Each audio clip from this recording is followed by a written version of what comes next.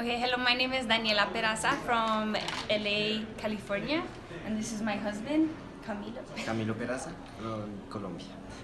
And the business side, the reason why we got into Nikken was because health is huge. Um, I realize now that my house where I sleep and where I eat and hang out with family isn't my only home. It's it is a home, but essentially my home is the body that I carry around everywhere.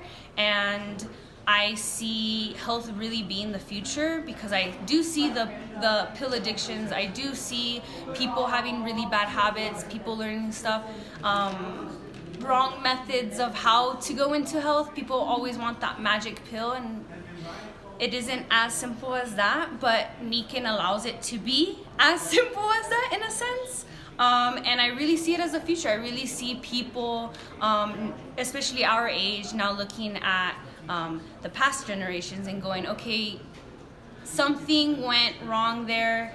They weren't educated in their health. They weren't educated in um, what they're putting in their bodies, the thoughts that they're thinking. And I feel like this generation, especially our age, or at least us, we're very, um, we're very in tuned with our bodies now and the energy and and how that can have um, a domino effect and I've seen that in our own case. We've just started Nikken and now our family's doing it, now our friends are doing it, um, people far away are asking us about it. So I really, I've seen it from the minute I saw the test that this is really the future.